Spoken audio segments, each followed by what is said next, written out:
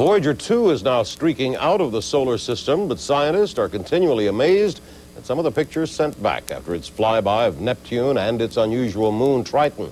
CNN's Dan Blackburn reports on the avalanche of information gathered during the space probe. Neptune's extraordinary moon Triton moved back into the spotlight as scientists reviewed the latest pictures from the Voyager spacecraft.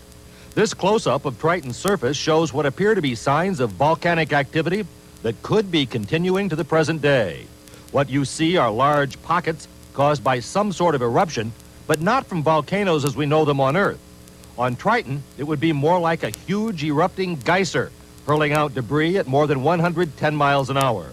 The lava is made up of nitrogen or methane, which is heated beneath the surface and then explodes upward into a shower of ice crystals and gas, and all of this in a super cold atmosphere. Even the scientists think it is pretty bizarre. This is a crazy idea. It's probably wrong, but uh, it's the best we have at the current time. Triton is only the second moon in our solar system to show evidence of continuing volcanic activity. The other is Io, the astounding moon at Jupiter, which has eight volcanoes hurling sulfur dioxide into its atmosphere in an unparalleled pyrotechnic display. The only planet with volcanic activity, of course, is Earth. Meanwhile, the scientists now say that Neptune's magnetic field is dramatically tilted at an angle of 50 degrees from the planet's axis. Only Uranus has a similar tilt.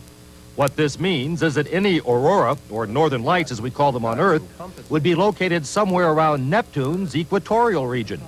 The scientists also played this tape of dust particles striking the Voyager spacecraft as it crossed Neptune's ring plane. And new calculations show that winds on Neptune range from a rather mild 40 miles an hour up to raging gusts of more than 700 miles an hour in the area around the huge storm system known as the Great Dark Spot. Yet to come are what scientists say will be the very best pictures of Neptune's increasingly complex ring system. Dan Blackburn, CNN at the Jet Propulsion Laboratory in Pasadena.